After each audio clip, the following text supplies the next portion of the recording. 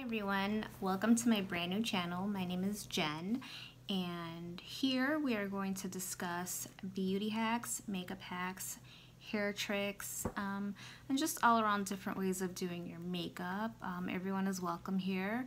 I love to hear everyone's comments and just, you know, your opinion. Tell me what you think because after all, this is all my opinion based on um, training. So quick background check. I did go to cosmetology school over 10 years ago. Um, so my training was more classic, more of a classic style. Um, this was before the days of Pinterest, before Instagram, before Facebook. It was a long time ago, so maybe more than 10 years ago. Um, but there are definitely techniques that can still be applied um, today and still look good, and maybe it might kind of open you up um, to a different way of, of doing your makeup, doing your hair. Um, I was trained in hair, skin, and nails, just a little bit of nails, just like basic manicures. Um, but I have like the hardest time keeping my nails done, so maybe I won't talk too much about that because I don't want to come off as um, a liar. Um, but my main love is makeup, so I am here for that. I am here for you.